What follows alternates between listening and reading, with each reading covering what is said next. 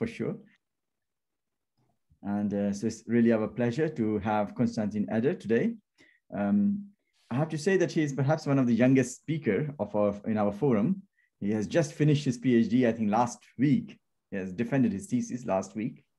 And um, he uh, he's an expert in loop quantum gravity and uh, various aspects of non-perturbative aspects of quantum gravity.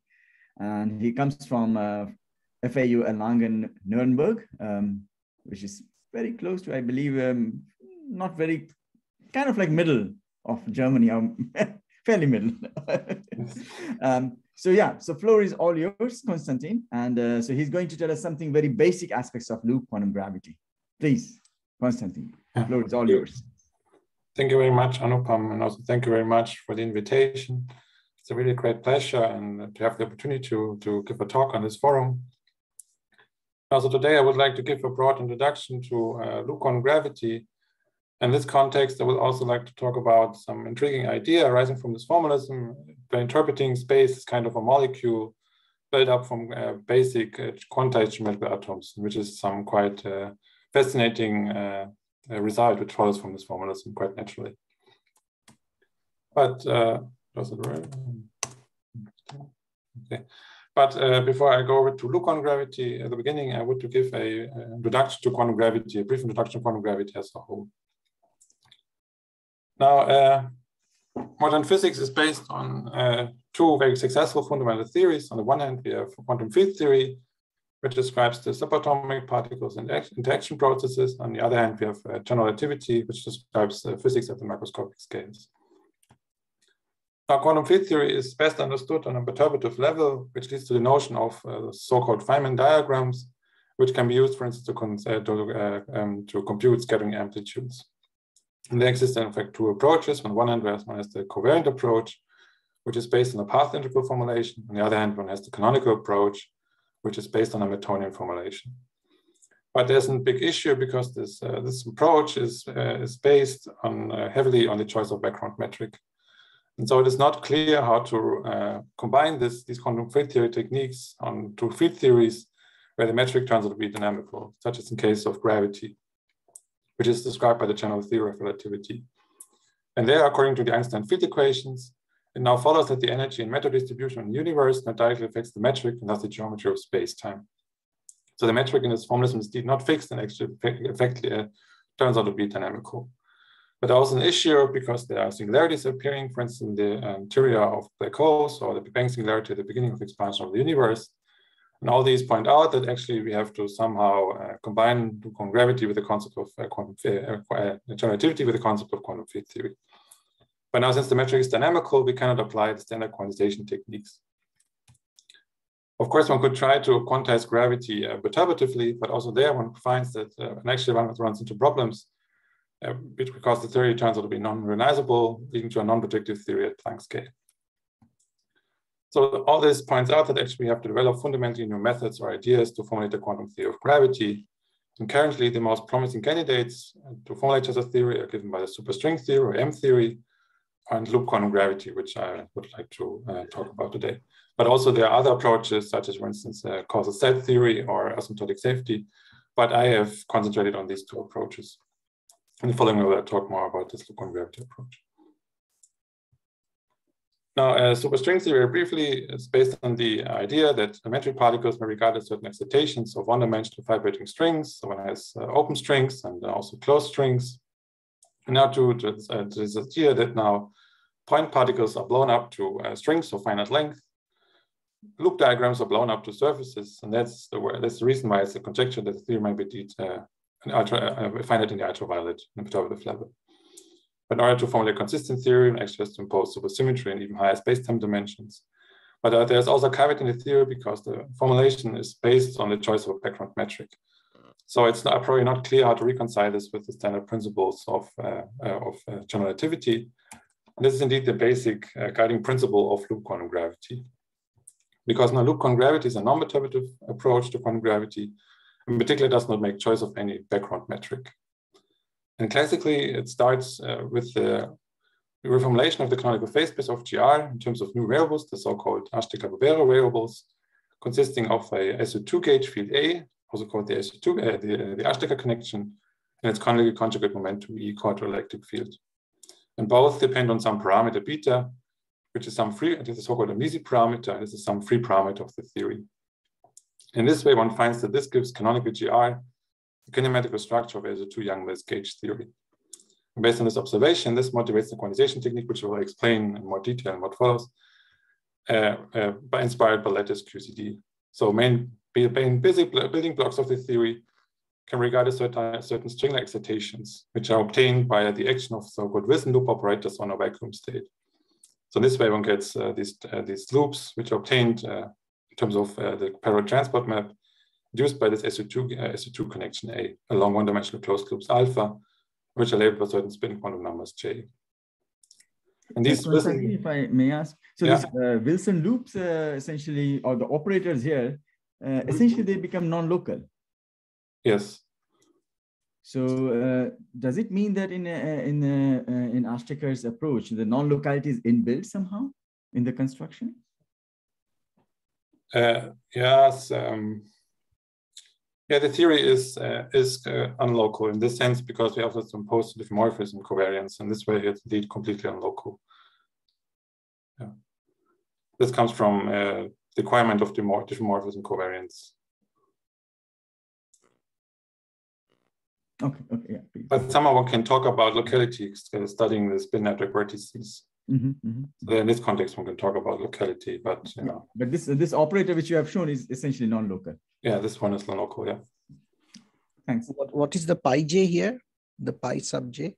Pi j is an UDOS was uh, an IREP of SU2. So some representations of SU2, finite one. So this can you can be combined with this uh, with this uh, parallel transport, which is some SU2 gauge uh, SU2 group element. I see. I see. Okay. So these uh, Wilson loops, uh, besides uh, this uh, this string, are labeled by some quantum number, uh, spin quantum number j. This is our loops. This actually gives loop quantum gravity its name. So loop quantum gravity, we have these loops as basic building blocks. So can I think of the pi j's like things like uh, Pauli matrices uh, or, or, spin matrices and, and uh, A's as kind of, uh, well, SU2 version of electromagnetic field uh, kind of thing? Yeah, for instance, for uh, the spin one half representation, these are these Pauli matrices, so exponential of Pauli matrices. Right, right. And and the pi j's would also be Pauli, some other Pauli matrices then?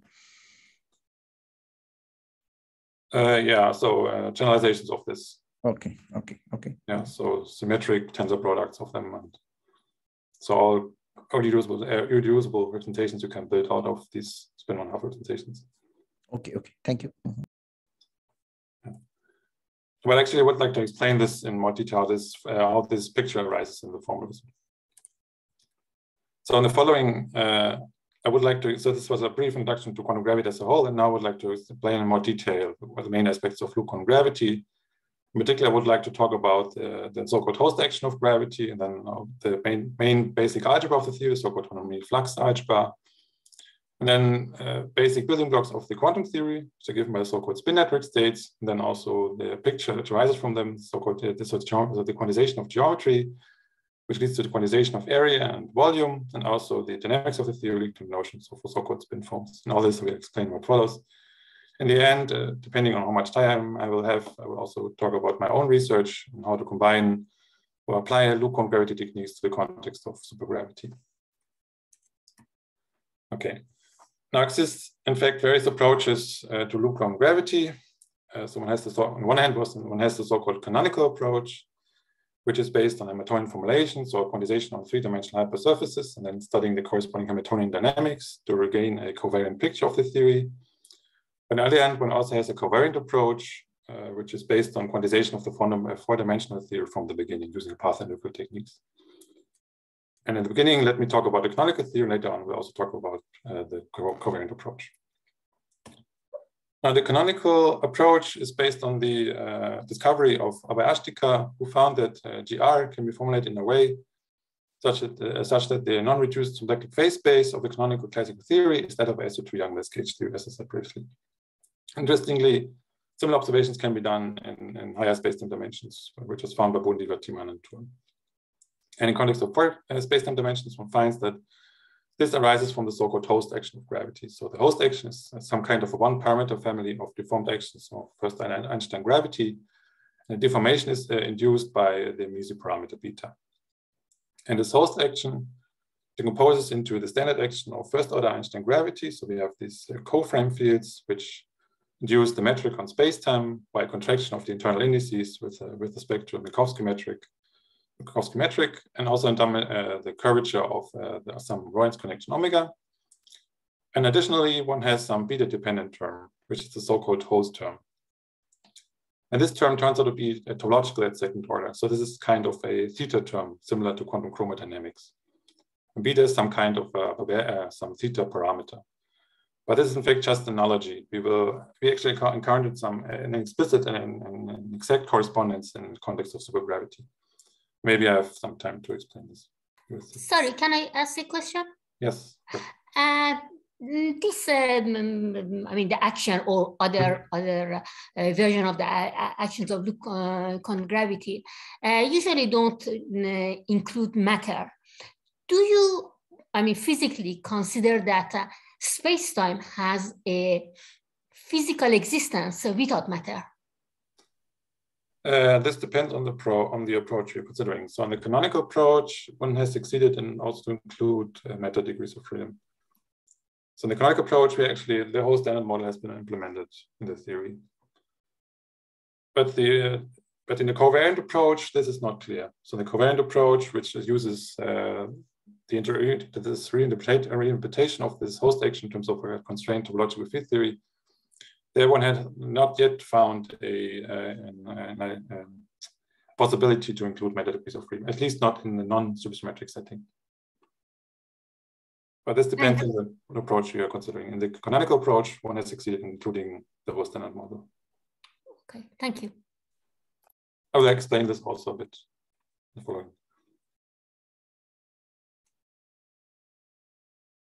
Now, uh, since this term is here now, this Holst term is topological second order, this now uh, leads to the same equation of motion as, as Einstein gravity. So this indeed leads back to gravity. And now, since uh, on gravity is a canonical approach, we now assumes that the space-time is global, uh, globally hyperbolic. So one assumes that space-time M is topologically of the form I times sigma, with sigma some three-dimensional Cauchy hypersurface. And then one can decompose this Holst action, and then one finds that uh, this leads to uh, this, this kinematical term, which depends on fun uh, the fundamental variables A and E, with A, the uh, connection, which is a SU2 connection on, on sigma, and its con canonically conjugate momentum E, which is called the electric field. And this contains some, it depends on the metric Q on, uh, on sigma. So E encodes the geometry of, of space. And additionally, one has certain constraints. So on the one hand, one has the so-called Gauss constraint, which generates infinitesimal gauge transformations. And on the other hand, one has uh, uh the diffeomorphism constraint, which generates infinitesimal diffeomorphism transformations. And finally, one has the Hamiltonian uh, constraint, which governs the dynamics of the theory. Thus, by uh, imposing the constraints on the symplectic phase space and studying the corresponding Hamiltonian equations of motions, then finds that this in effect leads back to the Einstein field equations. Um, sorry, Konstantin, could yeah. you tell me what was that E again? The E. The E is, is the uh, is the canonically conjugate momentum of this uh, connection A. Okay. And it depends on the metric of space sigma. So it encodes somehow the geometry of space. Right. Okay. I will. what Huri was saying, if you, you say that you you are including mass or not including mass? You just did you say that there was a distinction there? Mass, you mean? You think? Did you say mass theory? I think maybe I misheard. Sorry, I sometimes. Yeah, no, no, no, no, no, no mass. Okay, not to worry. Yeah. Okay. So, uh, it's just Einstein gravity.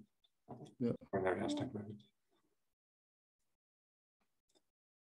We will see later on how this imposes quantization of geometry later on, how this E field is connected to the quantization of geometry.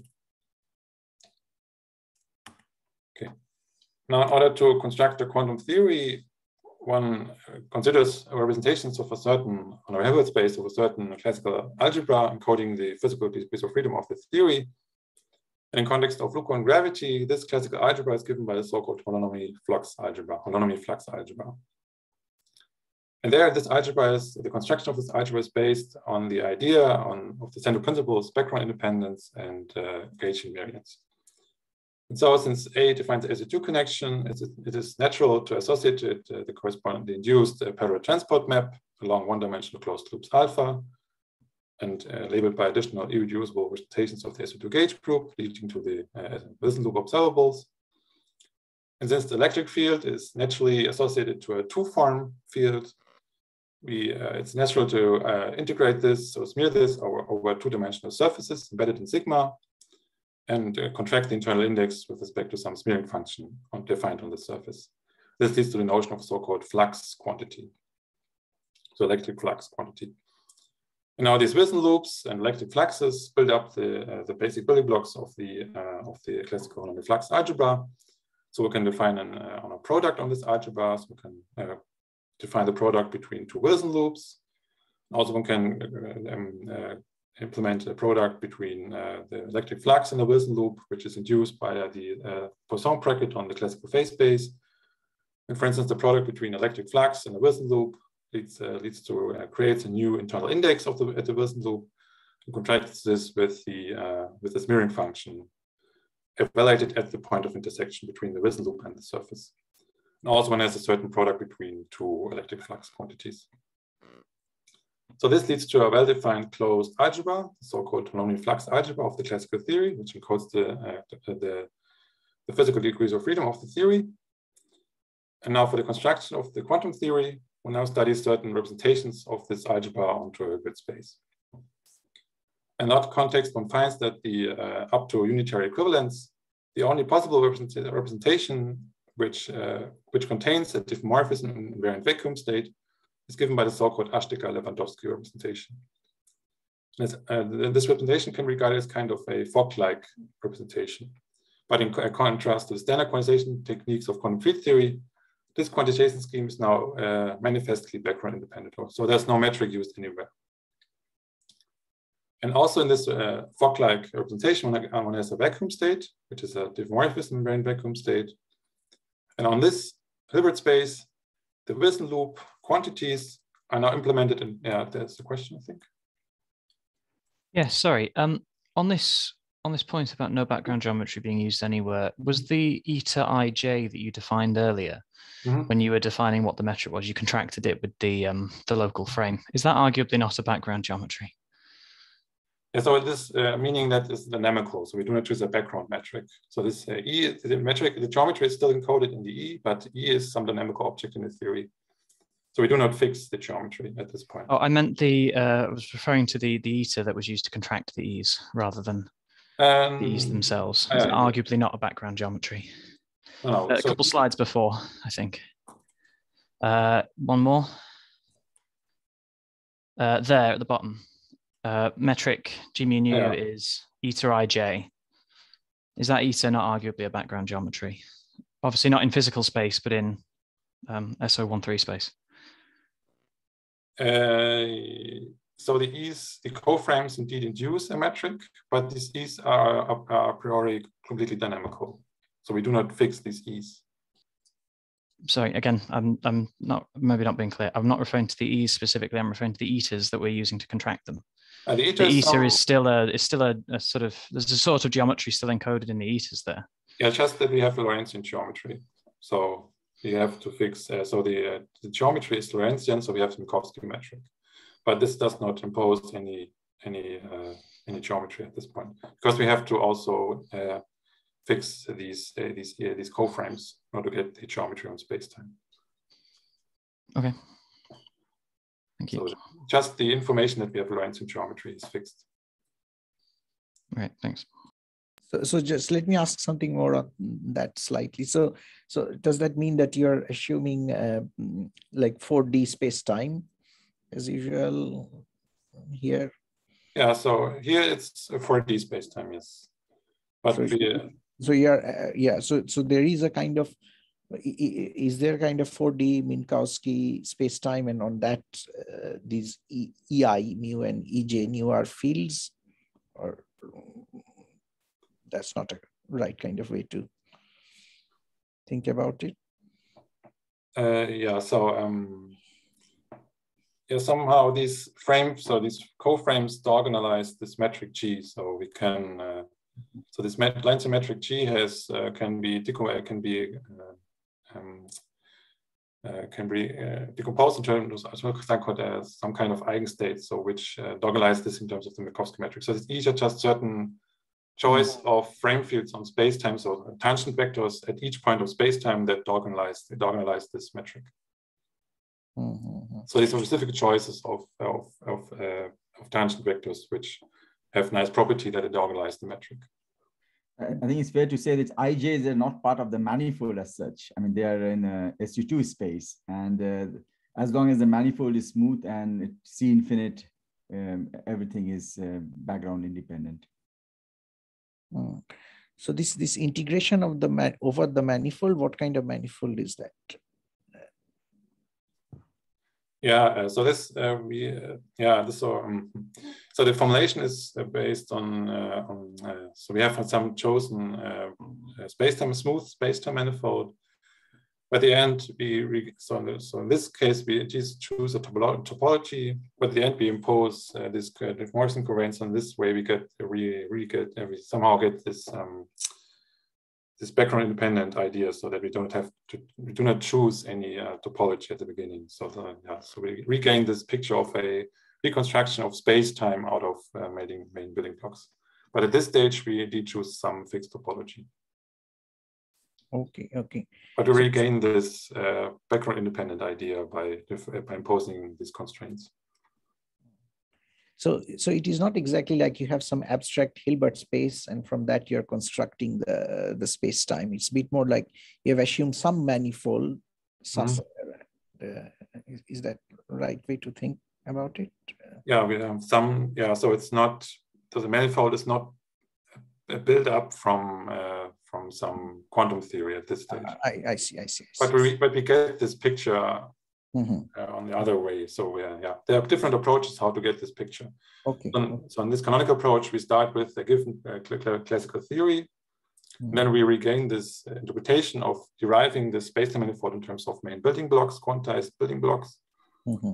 But there's also another approach, for instance, quantum, uh, this um, uh, group field theory approach, which really starts with the idea to get space-time in terms of uh, some effective picture from quantized elementary atoms. Okay. Okay. Okay. Yeah. Please go on. Please go on. Yeah. But this is more a top to bottom approach. This is more a bottom to top approach. Yeah, the other way around.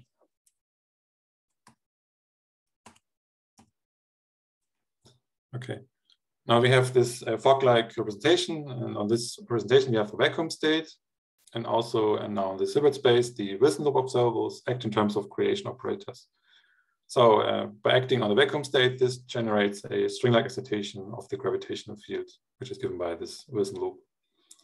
And also one can act on this uh, one uh, this, this, one exit, uh, one uh, string excitation by, the, by another Wilson loop operator and gets a two excited state, and this goes on and so forth.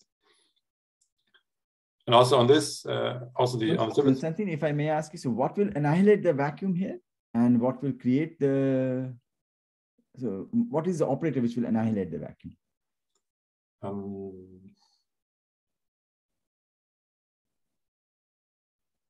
um, uh, yeah, so this would be a, given by these operators here, by these electric fluxes. So certain variations of this electric fluxes will indeed annihilate this. For instance, the Gauss constraint is some, or the morphism constraint, these are, yeah, the, basically the Gauss constraint is one operator, which is some combinations of electric fluxes, which indeed uh, uh, annihilates this vacuum state. This just call that again electric flux. So I'm not perhaps my perhaps it's your your your mm. accent. I'm getting it mixed up. Yeah, that so the, you called it what? Electric flux. Yeah, we call this because you can do the same formalism on electrodynamics on curved space-time. And you also get this similar picture. And then E in analogy, we, we call this E electric flux. So gravitational electric flux. It's uh, just analogy because you obtain the same picture. In, right, okay. In QED. I thought, okay. Yeah. I just don't know how you produce this stuff out of the vacuum. I'm a bit puzzled by that one on your previous. Uh, this one here? Yeah, maybe I just got mixed up again. I usually oh. do. So this vacuum state you could interpret as a Wilson loop with uh, labeled by a trivial representation of SU2. So this is not the vacuum state. And on this, okay. Yeah. On this state, you can now uh, act via Wilson loop operator, which just adds this Wilson loop to this to the state. And that is now the one excited state in the theory. Okay. And you can act on this state with another Wilson loop, which gives a two excited state and so on and so forth. So this gives some string-like picture, string uh, Fock-like picture of the theory. So the loop is actually a string that's been come back on itself. Is that what that the argument? Yeah. So uh, so why are, we are considering these Wilson loops because they are gauge invariant. So because we have to impose these constraints, and then it's natural to impose gauge invariance via these Wilson loops. But we, in fact, we will. So the whole Hilbert space, which is constructed in this way, has another a nice uh, basis in terms of so-called spin network states. And these are indeed, or, or, can also have open strings. So the network, I will come to this. Okay. Yeah, so these uh, loops act as kind of uh, creation operators and selected fluxes kind of derivations by uh, uh, creating internal in, internal index and then contracting this with this smearing function at the point of intersection. Now it turns out that from Pose's a diffeomorphism, diffeomorphism invariance of this vacuum state, that this representation up to unitary equivalence is indeed the uh, unique representation. This goes back to the famous LOST theorem. So now studying this Hilbert space, one then finds that uh, a main building blocks given by orthonormal basis of the Hilbert space is given by so-called spin network states. So spin network states can be represented as, uh, as, uh, as these uh, graphs embedded in, uh, in the spatial in the, in the hypersurfaces. And the edges carry certain uh, carry now a certain spin quantum numbers J of the SU2 gauge group, and these intersect at certain vertices. And interestingly, these spin network states were invented uh, completely independently a long time ago by Penrose in the 1970s. And here now they form they arise naturally in terms of orthonormal basis of the Hilbert space of the Equity Hilbert space, which arises from this Fock-like uh, Fock-like uh, representation of the holonomy flux algebra. And these uh, uh, spin network states can be regarded as associated to gauge invariant functionals of the uh, SU2 gauge field, so this Ashtekar connection. So for instance, if you consider a, um, a spin network graph given by two trivalent vertices, they represent certain spin quantum numbers. The, uh, the spin network uh, uh, spin network state is a function of A and uh, is obtained by the product of certain matrix coefficients of the irreducible representations of, uh, of the SU2 and uh, evaluated on the holonomies, so the periodic transport map induced by this gauge field along these edges. And then in order to get the invariant quantity, one contracts these internal indices while with respect to some intertwiner. And this way one gets a gauge invariant functional on the of the SU2 uh, of the SU2 connection. And also one can define in, in a product Hilbert space, one finds that, this, that these spin network, spin network states indeed provide an orthonormal basis of the whole Hilbert space. This is by this is obtained by this famous Peter-Weyl's theorem. Okay. now, as an immediate consequence of the spin network states, it now follows that this leads to quantization of geometry. So for instance, you could consider the area quantity. So you have some, some surface S embedded in sigma. So the, for instance, the surface here and uh, the area of the surface turns out can be completely re-expressed in terms of the dual electric field. So the canonical conjugate momentum of this SU2 connection A, the Ashtekar connection. So based on this observation, one can then implement this rigorously in terms of a well-defined operator in the quantum theory. And then one finds that the area operator associated to a surface S here acting on a Wilson loop labeled by spin quantum number J, which intersects the surface at, at one particular point. One finds that these uh, one excited states are indeed eigenstates of this area operator with these eigenvalues, depending on this uh, spin quantum number J, labeling this, uh, this Wilson loop. So when we get uh, this way, this is in fact to quantization of geometries. One has a discrete area spectrum, so which, which has a uh, lowest possible area eigenvalue and uh, becomes indeed almost uh, continuous in, in, the limit of large chain. So this quantization leads indeed to quantization of geometry, so in quantization of area in this case, and also the same applies to, uh, to the volume. So considering a certain region R, one can also re-express the volume of this region R in terms of uh, the electric field. And then one can again implement this in the quantum theory, but then the, resulting operator is much more complicated and the eigenstates, uh, the eigenvalues are not uh, known in generality. But also in, there, in this case, one finds that the volume operator can be uh, can be rewritten in terms of a sum of uh, operators which are localized at the uh, at the at the vertices of the spin-network graph, and uh, sum of all vertices which are contained in that region. So these operators this, this volume operator now acts on the on the uh, on the spin network vertices. Also, this leads to a quantization of the volume spectrum. So Konstantin, maybe that yeah. is a question. So Hori is asking a question, and I have a question. Maybe Hori, please go ahead. Yes. Uh, here in, in, in this part of your talk, uh, you are uh, you are considering um, at a fixed time, or because because there is no yeah. apparently there is no time here. So, so far, I'm considering the quantization of a particular space-like hypersurface, but then we will also have to impose constraints, for instance, uh, in particular, the Hamiltonian constraint, and this will regain this covariant picture, and we will, I will talk about this. Yeah. Okay. Do, do you do you talk about how do you define a clock, a quantum clock? Uh, no, yeah, yeah, yeah, okay, okay, that's true. So in the quantum theory, in order to get uh, to to somehow get um, to get a proper um, idea on, on, time evolution, actually has to introduce matter fields as clock fields, and then not because the Hamiltonian constraint, because in general relativity, um, we have this uh, background independence, so diffeomorphism invariance, and so on. In this context, uh, uh, we can um, redefine time via different choice of, uh, of, of, a, of a chart and so time is just uh, is, uh, so this Hamiltonian constraint is associated to a um, so a gauge transformation in a way. So gauge is so the Hamiltonian becomes a constraint in a theory, not a physical Hamiltonian. Yeah, but I think there is there is one uh, more yeah. fundamental problem here, and that is that if you want to define uh, properly a proper quantum clock, you need to be able to define first subsystems in your in the in the universe. And this i think that we can discuss later. It is one of the problems of uh, of the uh, background independent approaches but we can discuss it later. Please continue. Yeah.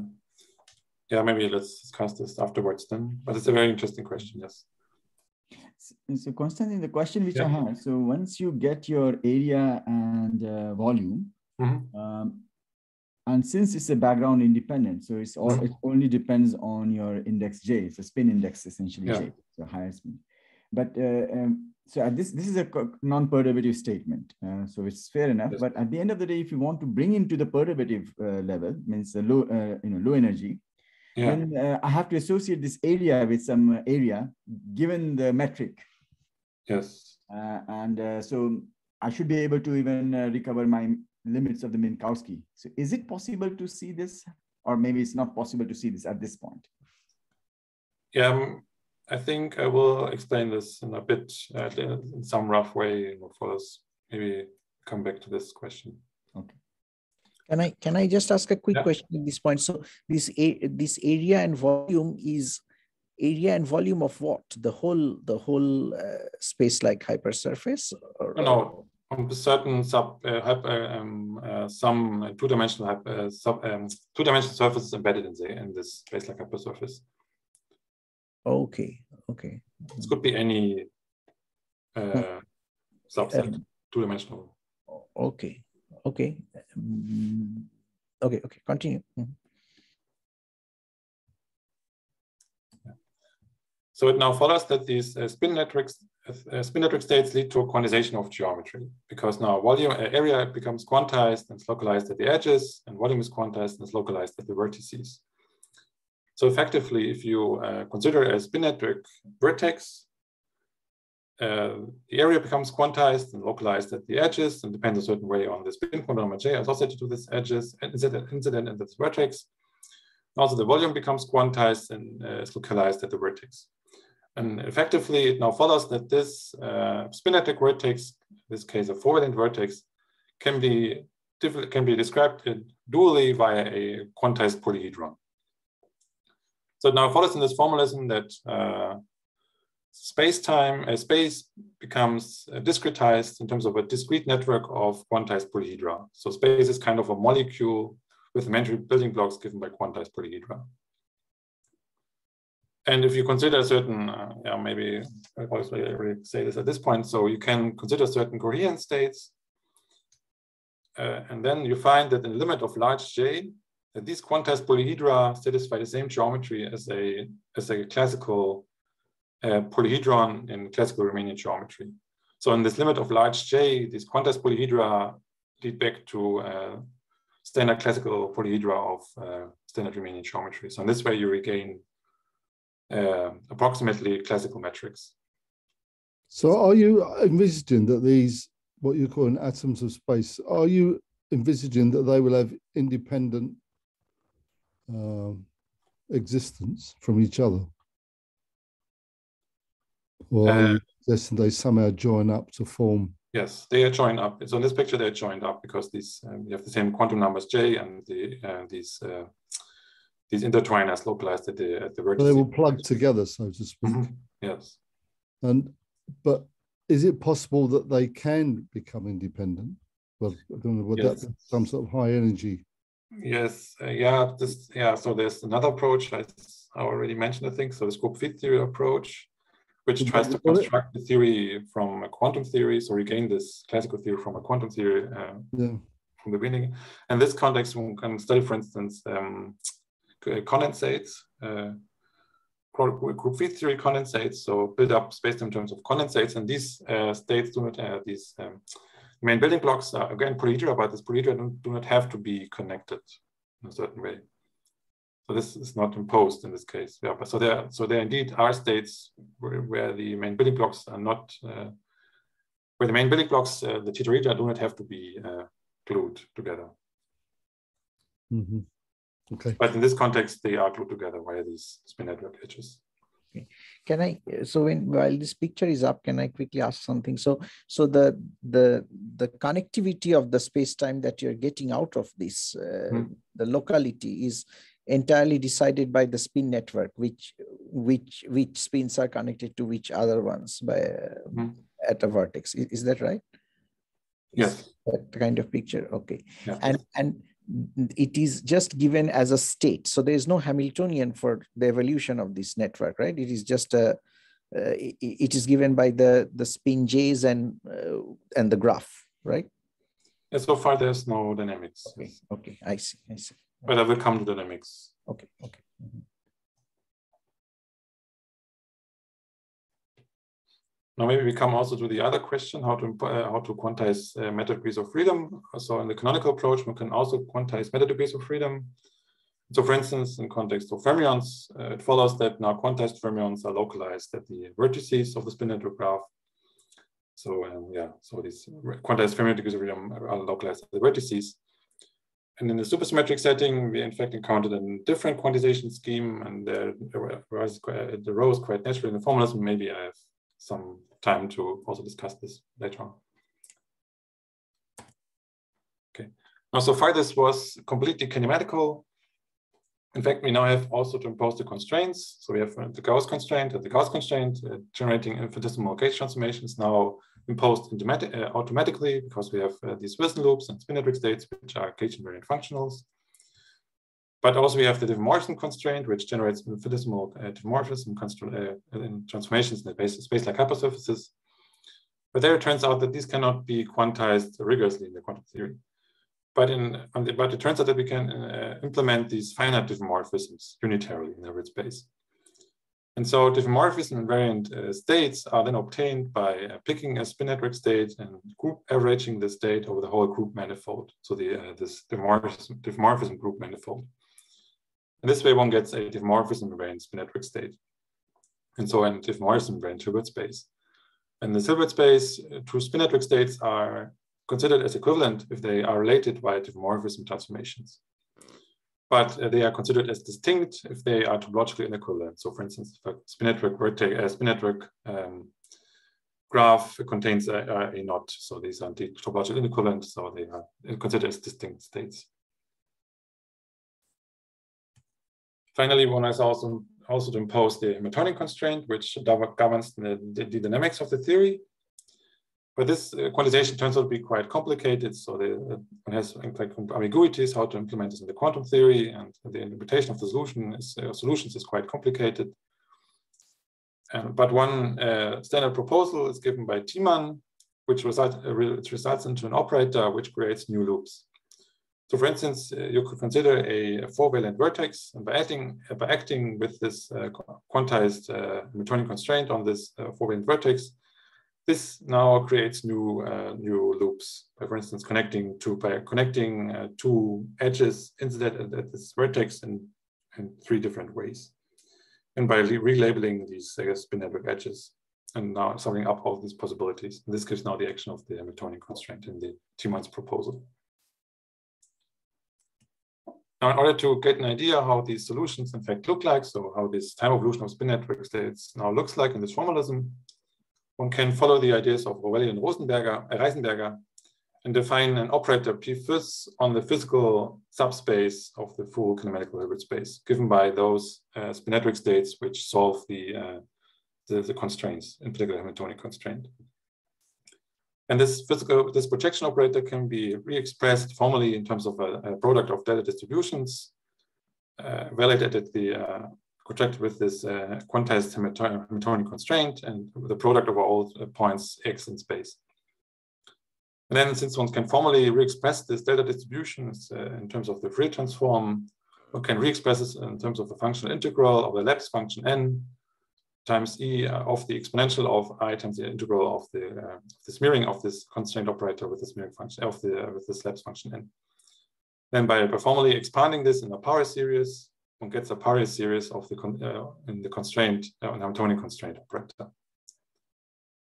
Now, using this power series expansion, one can then uh, compute the uh, compute the scattering, the amplitude or the transition amplitude between two physical states given by the projection of these spin network states onto the physical subspace of the Hilbert space. And then using the using this expansion of this uh, projection P physical and this power series of the Hamiltonian constraint, it now follows that the terms, individual terms appearing in this uh, transition amplitude can be effectively re-expressed in terms of these uh, two cells, these two complexes, the two complexes. These are the so-called spin foams. So the spin foams describe the time evolution of uh, network states.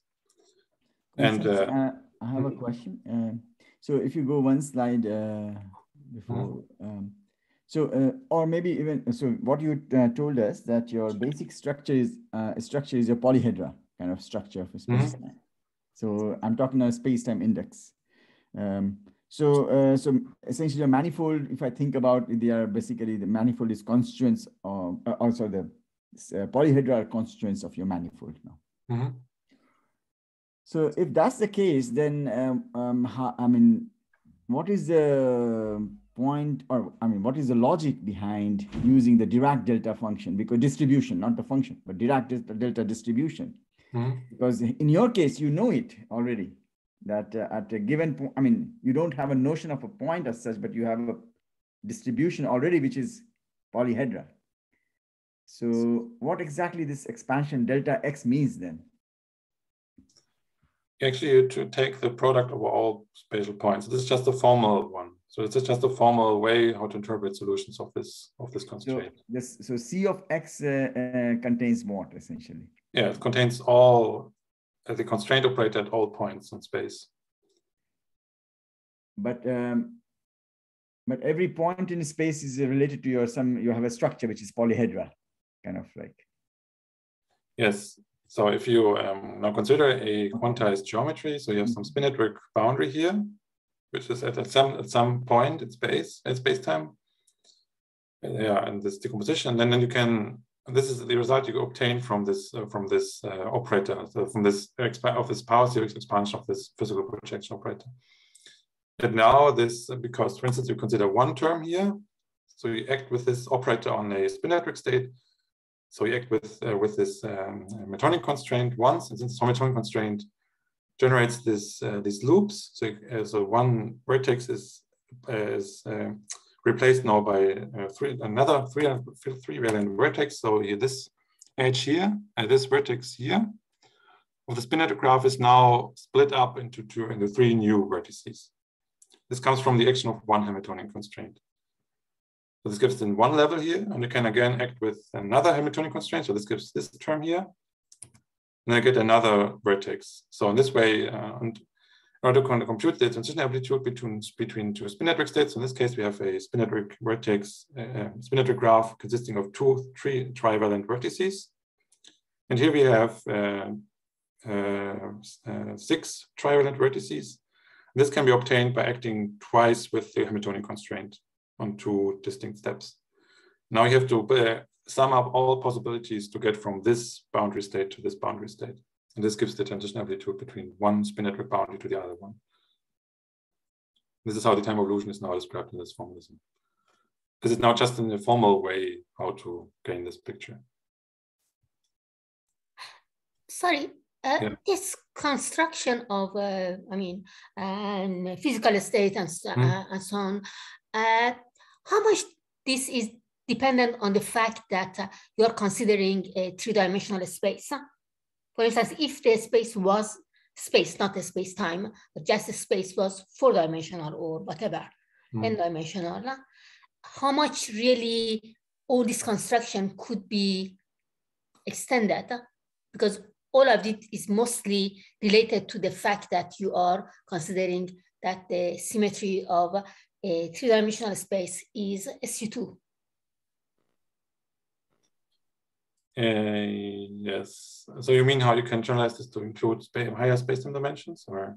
Yes, for instance, for instance, uh, n-dimensional, whatever. Mm. Then. Yeah, maybe. Uh, so, uh, so that there exists a formalism invented by Bodendorfer, Thiemann, and Thurn, who found that there exist indeed these Ashtekar-Barbero type variables also in high space-time dimensions. And then you can again build up this picture also in the same way. Just uh, now E is canonical conjugate to a uh, D minus two form, so you can consider uh, actually you consider um, higher dimensional surfaces for electric fluxes, but again one-dimensional string-like excitations. But also in three space-time dimensions, you have these pictures, and then in fact there you have, uh, yeah, maybe uh, they have uh, some nice properties. Maybe I will explain this. So you can generalize this to arbitrary space-time dimensions. Okay, thanks.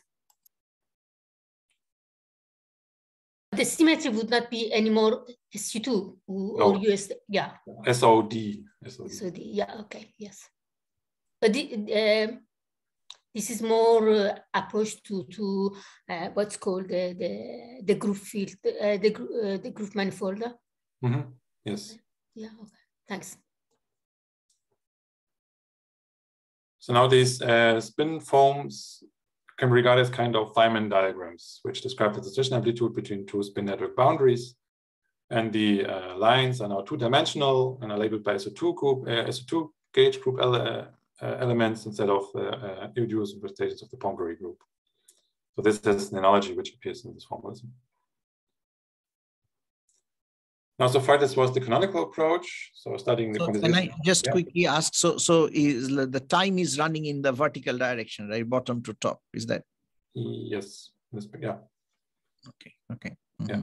So this is one spinning boundary, and, uh, and the transition from this right. to the other one in the future. Right. Right. Right. Right okay okay but there's some difficulty in how to get interpretation uh, interpretation of uh, time so actually i've neglected this particular uh, of time really when has actually introduced some reference fields mm-hmm, but mm-hmm. yeah but so this hmm? this transition is is it a bit more like just a unitary matrix having acted on it kind of thing right like a s matrix uh, but, yes. but without any magnitude of time yes right okay okay Okay, yeah. So far, this was the canonical approach. So studying quantization of three-dimensional um, three-dimensional hypersurfaces, and then studying uh, studying the uh, Hamiltonian dynamics to regain this covariant picture. But now there's also another approach, the so-called covariant approach, in which uh, now studies the quantization of the four-dimensional theory from the beginning. And there one uses the observation that the Holst action of gravity can be rewritten in terms of a constrained field theory by, introducing some two-dimensional, uh, some two-form field B, the so-called B field, which takes place in the Lorentz algebra. So this way we can define an action principle, which is a B wedge F type action with plus some additional constraint term, which depends on some Lagrangian multiplier, which depends in a certain way on the Immirzi parameter and has certain symmetries, in such a way that this imposes a constraint on the B field so-called simplicity constraint. And this relates the B field to the coframe. And then by uh, reinserting this, uh, this constraint into the B field here, one finds that this indeed leads back to the Holst action of gravity. So if one takes a closer look on this B wedge F term, one observes that this is in fact a topological theory with well-known quantum theory, the so-called BF theory. In the context of two plus one dimensions, one finds that this is equivalent to gravity with gauge group SO1, 2. So the idea was now to uh, quantize this theory by uh, quantizing first, uh, discretizing first this uh, BF path integral induced by this uh, topological BF action, and then afterwards implement this uh, the simplicity constraint. This goes back to ideas from Barrett and Crane.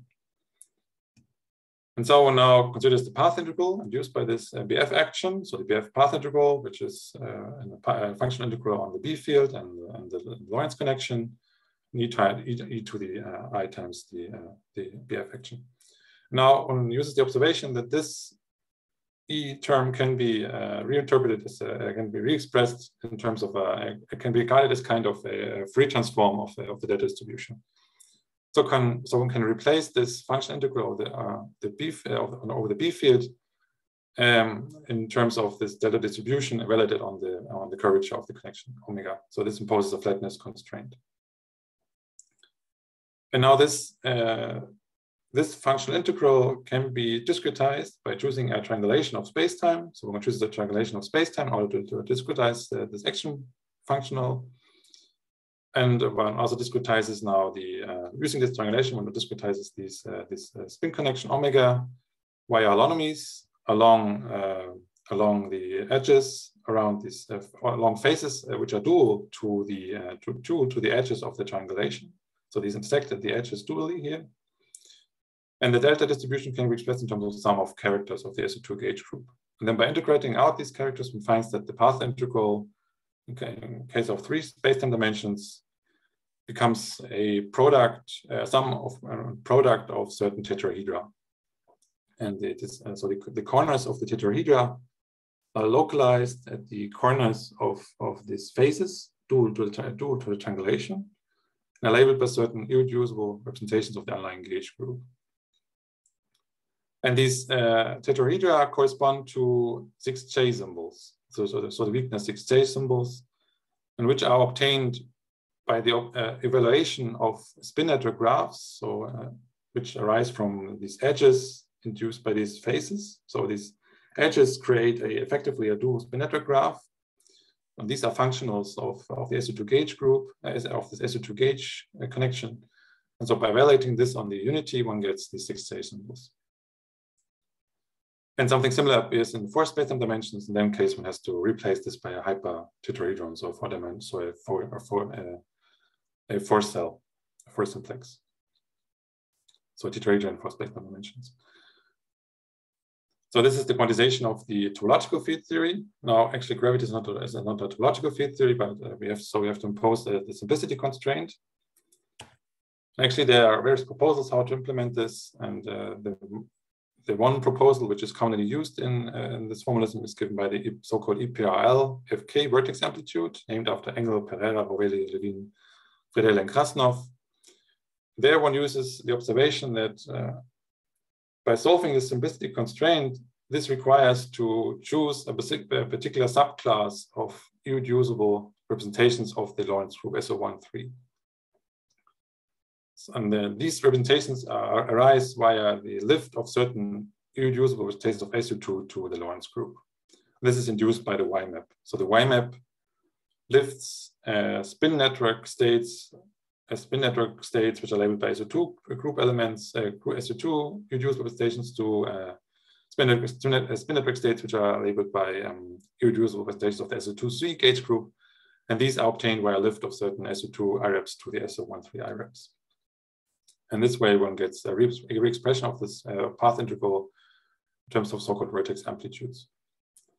So effectively, this covariant picture leads to, uh, to a spin foam which arises from uh, the uh, time evolution of SU2 spin network graphs. And this is uh, very similar to the picture that we have obtained in the canonical approach. And in fact, it, can be proven in three space-time dimensions that these two pictures are indeed equivalent. So the spin network, the spin foams which arise in this uh, from this covariant approach are indeed equivalent to those which are obtained via the time evolution of spin network states in the, in the, in the canonical approach. This has been proven in three space dimensions, but in context of four space dimensions, this is still under debate. So finally, I would like to give a, uh, give a summary of, of results of LQG, which point out that the theory might be indeed uh, on the right track. So on the one hand, as I said, the theory seems to have indeed the right uh, classical limit. So for instance, in the canonical formulation, it turns out that by considering certain Green states localized at uh, certain vertices of, uh, of, these, uh, of the spin graph, that the limit of large J, that the quantized geometry leads back, in fact, to the classical geometry. So these quantized polyhedra correspond to the limit of large J to classical, to, to classical polyhedra in classical Riemannian geometry. So this is one result one obtains in the canonical theory. So the green states describe approximately classical metrics. Also in the covariant approach, one finds that these, um, these six J symbols and these, um, uh, these uh, hyperpolyhedra indeed correspond to discrete Regge, correspond, correspond to discrete Regge action. So uh, discretization of the, the path integral of Einstein-Hilbert action via choosing of a triangulation. This uh, also can be obtained in the limit of large J. Now, in context of cosmology, one finds that this leads to a resolution of, uh, of singularities. So for instance, the Big Bang singularity is replaced by a big bounce. And also one gets a consistent picture of the inflationary phase of the universe. In the context of three space-time dimensions, one finds that the canonical and the covariant approach are indeed both equivalent and uh, indeed coincide with standard quantization techniques one knows from Chern-Simons theory, for instance, the combinatorial quantization scheme or the geometric quantization scheme, all these coincide with this quantization scheme one has from, one obtains from this canonical and or current approach of LQG.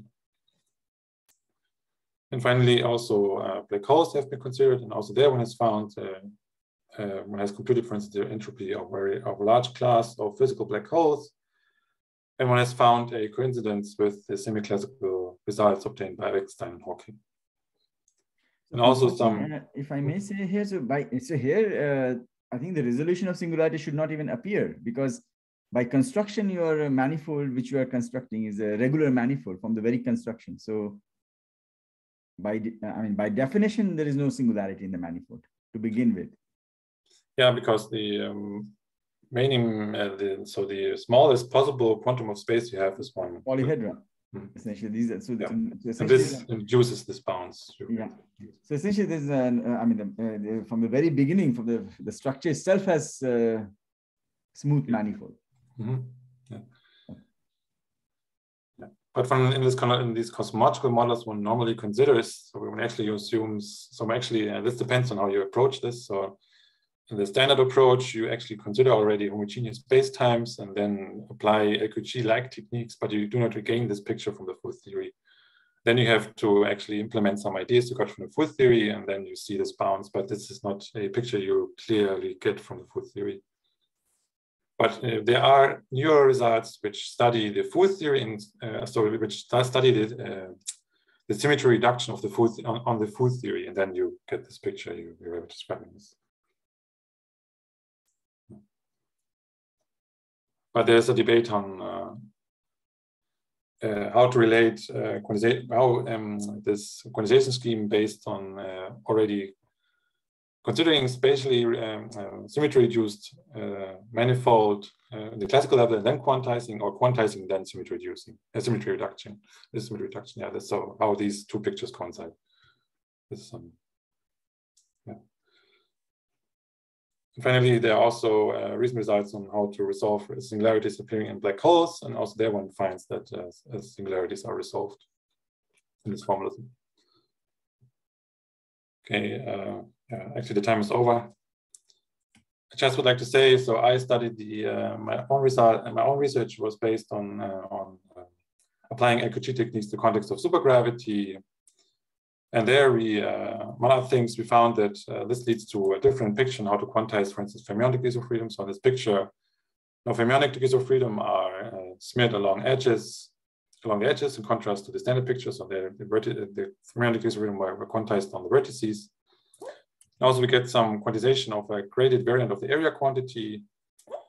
So some generalization of Cartan geometry, so super geometry. And then we found that uh, we can, for instance, study supersymmetric black holes. And there we found that uh, we can describe uh, the boundary degrees of freedom in terms of certain would-be gauge degrees of freedom induced by these uh, generalized SUSY spin networks. And we found that this leads to, for instance, the Bekenstein-Hawking entropy for supersymmetric black holes. So we get this, some supersymmetric generalization of this formalism to um, the theory. But this was it.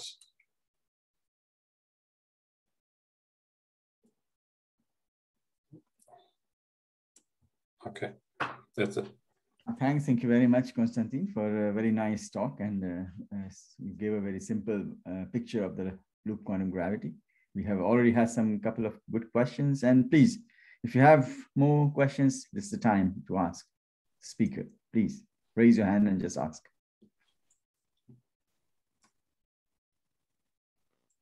So, so maybe I would I would just like to understand the the picture uh, a bit better. Um, mm -hmm. So, the so when you also placed fermions in the in the vertices, right? Mm -hmm. So, am I to understand the the locality of uh, space time, what, what emerges like with, with fields interacting at the same point uh, in space time, right? am I mm. to understand that uh, really as, as the same locality as the graph uh, on, on, on which these, these volumes are next to each other? Is, is the mapping direct mapping or, or is it a more abstract mapping? Does the, does the locality in the, in the graph correspond to the, the locality of the space-time that is emerging? Yeah, so um, interacting uh, fermions are localized at the same vertex of a spin network graph. So in this sense, they are localized at the vertices. Yeah, so, so for two fields to interact, they must be in the same vertex. Is yes. that right? Yeah, um, but they also somehow con yeah, but they're also somehow connected via the Hamiltonian constraint. So the yeah. Hamiltonian constraint can connect two, ah. two distinct vertices to some single vertex also. Right, right uh, at a different time you they can mm-hmm. evolve yeah, yeah they can evolve to a to a right and what is the what is like the the speed of light here i mean how do you mm.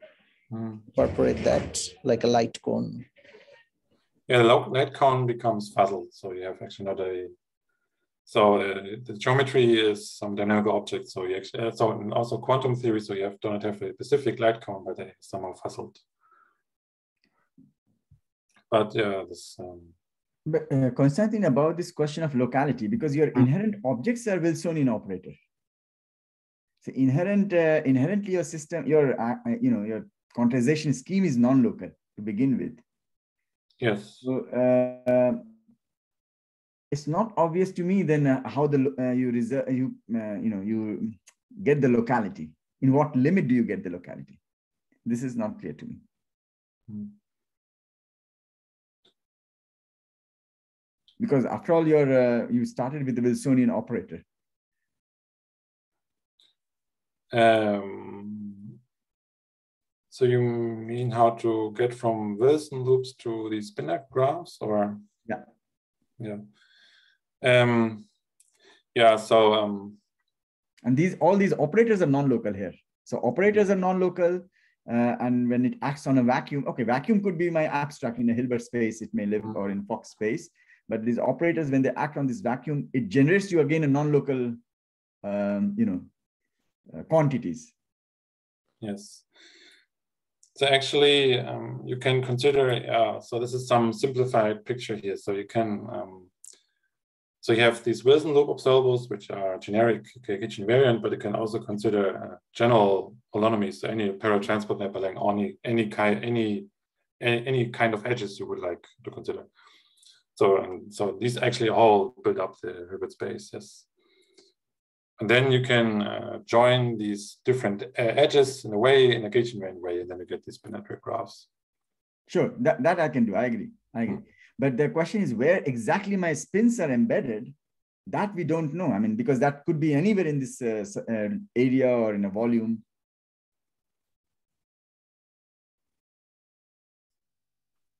What do you mean? How the spins are embedded?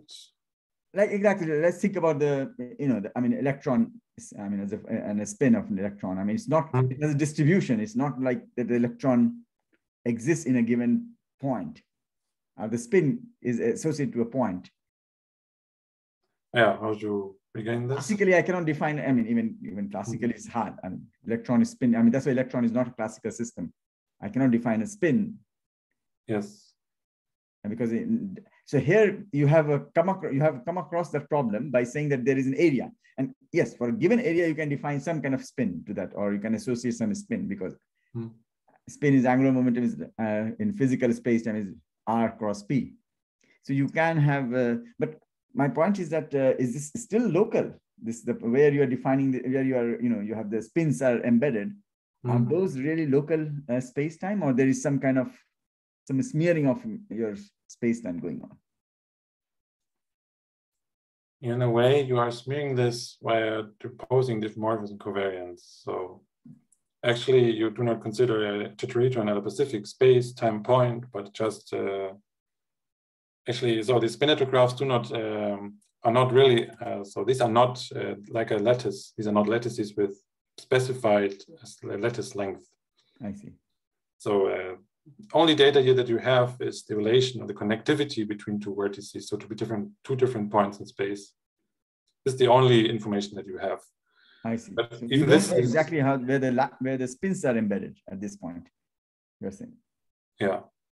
So uh, the only thing that you know is the connectivity between these points. But uh, even and even this is uh, actually even this is not uh, uh, not in, uh, encoded in this because you have diffeomorphism covariance. If these points are moved along any way, mm-hmm. manifold, but in a topological equivalent way, so you do not form knots or so. So essentially, so, you are saying that these are not localized uh, yes. systems. Yes. By, um, by, by definition, they are not localized system. Yes. I see. I see. So is is diffeomorphism invariance here just equivalent to topological equivalence or is it more uh, more uh, constrained or more uh, constrained? actually a bit less. So we actually don't just consider smooth homeomorphisms so not any any uh, continuous homeomorphism. But uh, in this group theory approach you indeed consider any kind of uh, embedding. So you have these Pachner moves and so you really consider also yeah gin and tonics. That's up by a nice clear pool. and yet we've got a murky swamp of a pond. Sorry, I think I. Sorry, sorry. No, no, there was some. Uh, someone had uh, uh kept his. Um, hmm. uh, I did not mute the audio. That's that was it. Okay.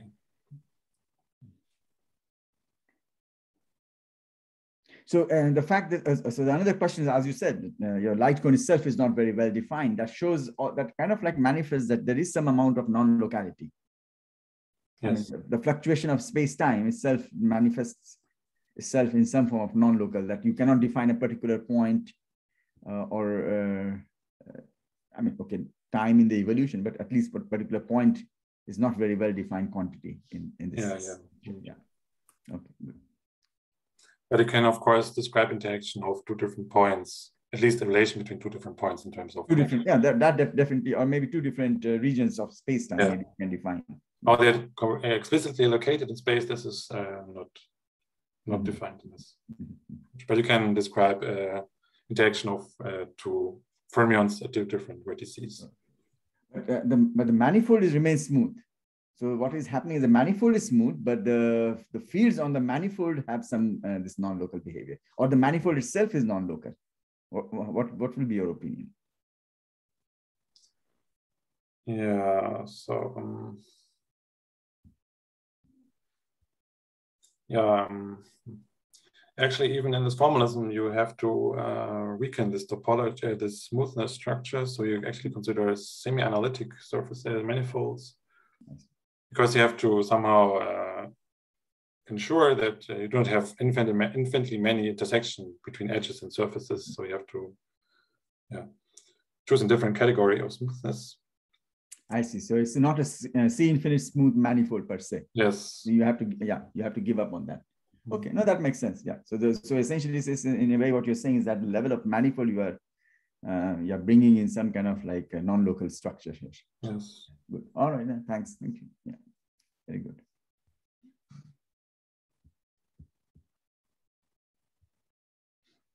So uh, uh, is there any other question from uh, the audience? Yes. Yeah, go ahead. I have, have a question. I mean, again, mm, going back to my previous question, uh, I think that one of the, there are two main problems uh, which which is discussed uh, in the in the literature uh, about loop quantum gravity, and one is that uh, why dimension three. It does not explain why the dimension of the space is three. And uh, second, the in the whole formulation, the the the the, the covariance, the Lorentz covariance uh, or the diffeomorphism covariance is is quite it's quite uh, hidden, and I'm not sure that it's uh, people uh, agree that it it is all, uh, always uh, respected. Do you, can, can you comment on this? Maybe first on your on the first question. So why four space-time dimensions or three spatial dimensions? Yes. So uh, yes, it's, so it's true that effect can uh, find these Ashtekar-Barbero-like variables for any space-time dimensions, but only in four space-time dimensions, at least so far, uh, still of uh, the present status of the, of the research, is that only in four space-time dimensions, these are indeed uh, natural, these variables. So in, in, in, so if you consider higher space-time dimensions, you have to make a lot of choices. And this is just a very... Uh, yeah, the, uh, the, the, problem of naturality is not important. The point okay. is that uh, why three? Why not something else? Because that only in this is natural case, or not because only in this case you can derive this from this Holst. So this Holst this Holst action can only be, only be formulated in four space-time dimensions, and this depend and this is related to the dimension of the Lorentz algebra. So Lorentz algebra is uh, four uh, SO1 three, so you have these four indices, and only in this case you can formulate this Holst action, uh, this Holst term here. This Holst action only exists in four space-time dimensions, but not in uh, higher space-time dimensions. So I think Hori's point is that can I um, uh, so yeah, and uh, uh, I think this point is absolutely correct. But uh, maybe the Hori would like to understand that could could you write something analogous to your Holst action in any arbitrary yeah. dimensions? And the answer yeah. is perhaps yes, but it may not be unique. I think. I mean, yes, you can you can extend it to other dimensions. You can, uh, but all of this does not explain why what we observe is three.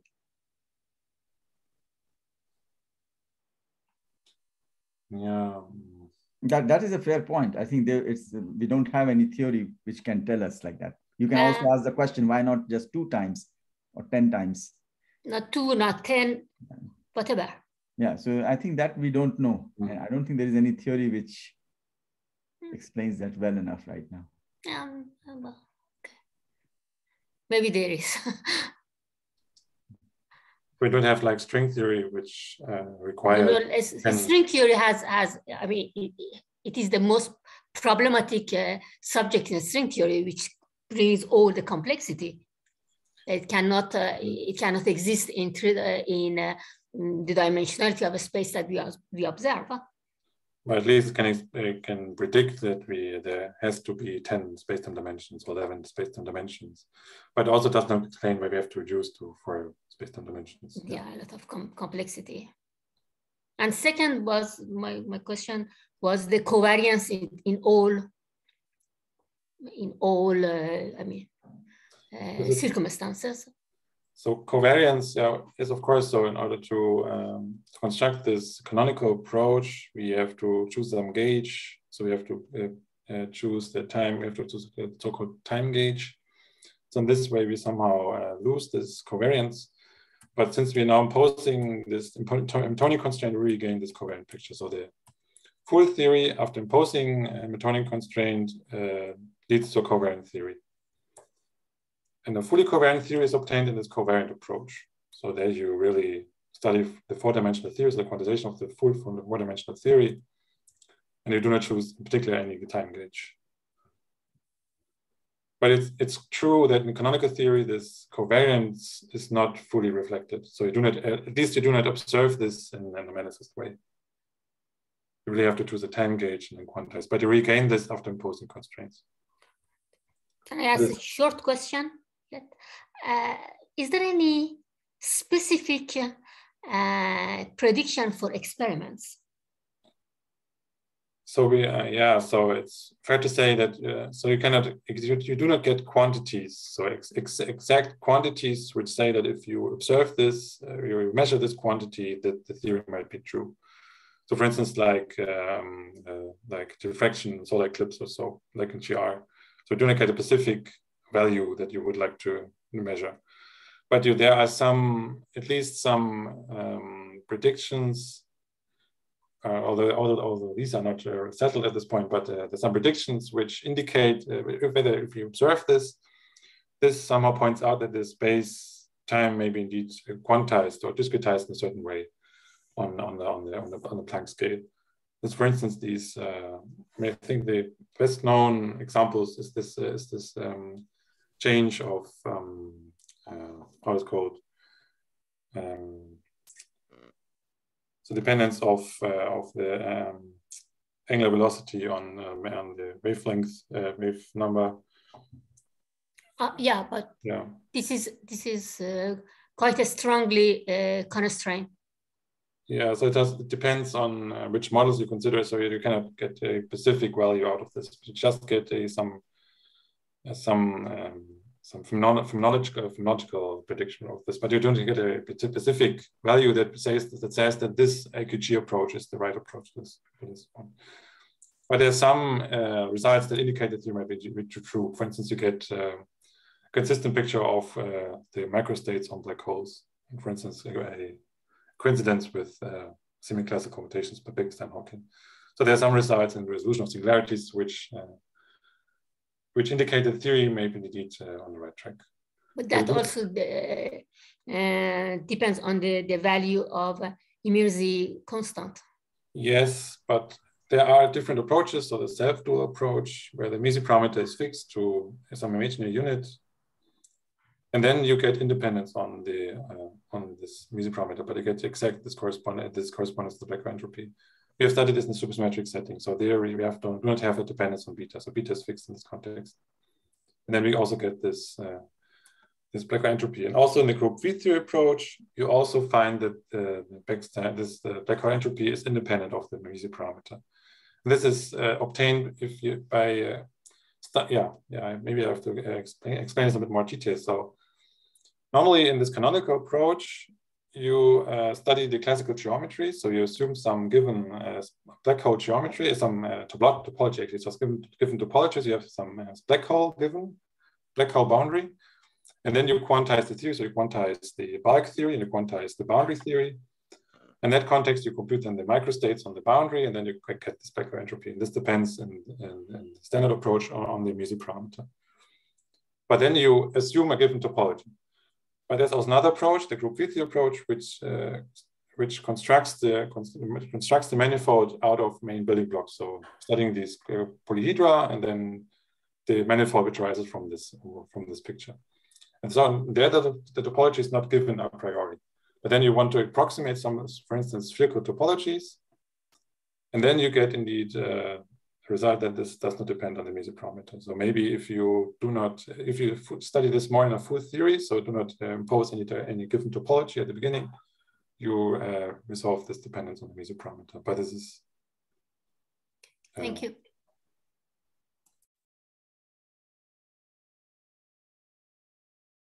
We have, uh, is there any other question from, please raise your hand and just uh, maybe ask or.